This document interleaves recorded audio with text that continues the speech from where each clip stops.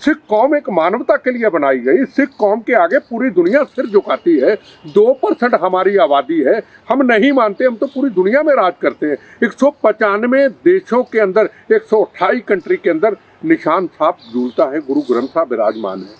हिंदू, मुसलमान, सिख, ईसाई फॉरनर सब जाके सिर झुकाते हैं। हरमंदर साहब का आप इतिहास देख लीजिए। अब सिख कौम को बदनाम क्यों करना चाहते हैं? हम नरेंद्र मोदी को मार देंगे। आपको पता है नरेंद्र मोदी जब गए थे फिरोजपुर के अंदर, करोड़ों अरबों रुपए का पैकेज लेकर के, वहाँ कॉलेज, वहाँ यूनिवर्सिटी वहाँ बड़े बड़े हॉस्पिटल का निर्माण करना था उन्होंने।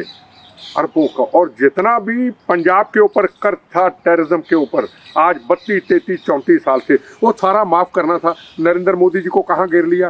किसान आंदोलन के नाम के ऊपर शरारती लोगों ने 50 किलोमीटर एक पाकिस्तान फिरोजपुर जी। पचहत्तर किलोमीटर गंगानगर पाकिस्तान और 100 किलोमीटर वाघा बॉर्डर पाकिस्तान। और बीच में इन्होंने घेर लिया। क्या प्राइम मिनिस्टर ने कहा गोली चलाओ?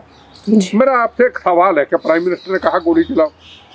सहन करते रहे पता नहीं किस तरीके से बच के आ गए अब फिर कहते अगर तुम अब आए तो तुम वापस नहीं जाओगे। अरे यार हिंदुस्तान है या धर्मशाला इसकी ज़िम्मेदारी कौन लेगा आप? क्या प्रधानमंत्री ने देश के लिए इतना कुछ किया? को बोलने वाला ही नहीं। सिख समाज के ऊपर को बात करने वाला ही नहीं। हम अपने घरों में बैठ गए। हिंदुस्तान के प्रधानमंत्री आज दुनिया के अंदर इस भारत वर्ष को एक एक कभी कहते थे सोने की चुड़िया आज तो एक शेर सो, सोने का शेर कहना चाहते हैं कि वो भारत को बनाया जा रहा है। इस दुनिया के अंदर भारत विश्व गुरु की तरफ़ जा रहा है। छोड़िए बीजेपी छोड़िए कांग्रेस छोड़िए सीपीएम छोड़िए समाजवादी पोर्ट छोड़िए ममता बनर्जी की पार्टी। तेरा वैभव अमर रहे हम दिन चार भारत आज़ादी का भारत जो भगत सिंह राजगुरु सुखदेव मंगल पांडे इस्तफाकुल्ला खान ने भारत बना के लिया। उस भारत के प्रधानमंत्री ने राम जन्मभूमि का निर्माण हुआ। आप आप उस तरफ़ जाइए तो सही 500 साल का इतिहास न दंगे चले न दंगे हुए न गोली चली ना बम चला न कुछ चला। कॉरिडोर खोला सिख समाज को सबके लिए गुरु नानक देव जी के सिर झुकाने वालों के ऊपर पूरी दुनिया से लोग आए।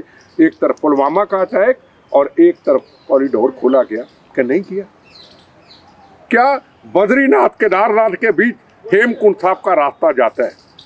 वहाँ एक क्रेन चलाई गई, लोग वहाँ पे जाएँगे। कब, कभी किसी ने सोचा था? ये तो नहीं मोदी ने कहा, ये बद्रीनाथ, ये केदारनाथ, ये हिंदू का, हिंदुओं का है, ये सिखों का है, मैं ना करूँ। वो तो सिख समाज के आगे सिर झुकाते हैं। वीर बाल दिवस। छोटे छोटे साहबजारों का किसी ने आज किया? उन्होंने उसके लिए ऐलान किया कि पूरी दुनिया के अंदर जहाँ हमारी एम्बेसी है जहाँ हमारे स्कूल हैं जहाँ हमारे गवर्नर हाउस हैं उनका मनाया जाएगा। क्या बात तो मुझे एक चीज़ बताइए मोदी जी ने कब सिख कौम को नीचे दिखाने की कोशिश की? अगर दिखाने की कोशिश की होती तो 26 जनवरी को ऐलान हो जाता कि इनके ऊपर गोली चलाओ इनके ऊपर लाठी चलाओ। वो कहते हैं लाठी खाओ गोली खाओ पर सिख समाज के ऊपर गोली ना चले इनके ऊपर लाठी ना चले। रोदा जाए रो दो। नरेंद्र मोदी या योगी के होते हुए को हिंदुस्तान के ऊपर वार कर जाए, पर एक चीज़ सिख पगड़ी के आगे, योगी हो, मोदी हो, बीजेपी हो, आरएसएस हो, कोई पॉलिटिक्स सिर झुकाती है।